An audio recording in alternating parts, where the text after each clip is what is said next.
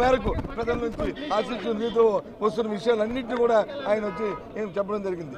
ముఖ్యంగా చెప్పిన విషయాల్లో ఈరోజు రేపు సాయంత్రం జరగబోయే రేపు జరగబోయే క్యాబినెట్ కూర్పులో బలహీన వర్గాలకు యాభై శాతం మేము కేటాయిస్తున్నాము. ఎస్ యాభై శాతం. SC ST SC SC ST minority SC ST minority బీసీలకు నలభై యాభై శాతాన్ని కేటాయిస్తారని చెప్పడము ఏదైతే బీసీ డిక్లరేషన్ ఇచ్చామో ఆ డిక్లరేషన్ నూటి నూరు శాతం అమలు జరుపుతారని చెప్పడం చూస్తుంటే నిజంగా కూడా నా ముప్పై సంవత్సరాలు నలభై సంవత్సరాలు రాజకీయ జీవితం ఎప్పుడు కూడా చూడడం చూడలే. ఎందుకంటే అట్టడి వర్గాలు కోరుకుంటున్నాయి. నా పరిపాలన చేతిలో రావాలని కోరుకుంటున్నాయి. అలాంటి వాళ్ళకి అలాంటి నిర్ణయం మరి జగన్మోహన్ రెడ్డి గారు చిరస్థాయిగా ఆయన ఉంటాడు. అందులో ఏ విధమైన సందేహం లేదు. దాంతోపాటు పరిపాలనలో విధానంలో మార్పులు తీసుకొచ్చారు. ఒక గుడ్ గవర్నెన్స్ తీసుకొచ్చారు. ఆ గవర్నెన్స్ ఏ విధంగా ఉంటుందని కూడా ఆయన నిశ్చయం చెప్పింది. టెండర్ సిస్టంలో వచ్చి ఒక జ్యుడిషియల్ కమిషన్తో టెండర్ని మరి ఎవాల్యుయేషన్ చేయిస్తామని చెప్పారు. ఇది ఎక్కడ కూడా దేశ చరిత్రలో జరగలే.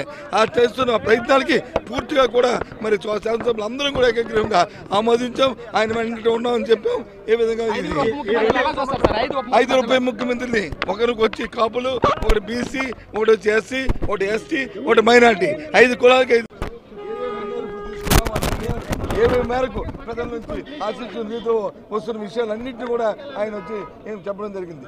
ముఖ్యంగా చెప్పిన విషయాల్లో ఈరోజు రేపు సాయంత్రం జరగబోయే రేపు జరగబోయే క్యాబినెట్ కూర్పులో బలహీన వర్గాలకు యాభై శాతం మేము కేటాయిస్తున్నాము.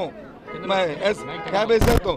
SC ST SC SC ST minority.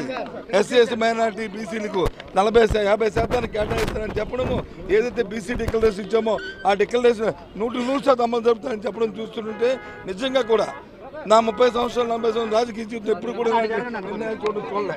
ఎందుకంటే అట్టడి వర్గాలు కోరుకుంటున్నాయి. నా పరిపాలన చేతిలో రావాలని కోరుకుంటున్నాయి. అలాంటి వాళ్ళకి అలాంటి నిర్ణయం ఇచ్చిన మరి జగన్మోహన్ రెడ్డి గారు చిరస్థాయిగా ఆయన ఉంటాడు. అందులో ఏ విధమైన సందేహం లేదు.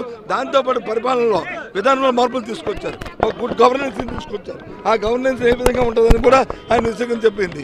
టెండర్ సిస్టంలో వచ్చి ఒక జ్యుడిషియల్ కమిషన్తో టెండర్ని మరి ఎవాల్యుయేషన్ చేయిస్తామని చెప్పారు. ఇది ఎక్కడ కూడా దేశ చరిత్రలో జరగలే.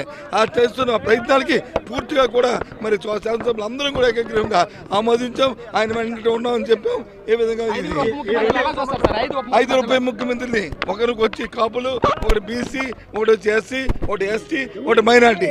ఐదు కులాలకి ఐదు